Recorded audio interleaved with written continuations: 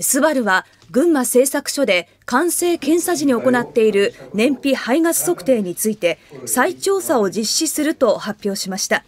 新たな不正が判明したためでこれを受け吉永康之社長が代表権のつかない会長職に退き新しい社長に専務執行役員の中村智美氏がつく人事を発表しました。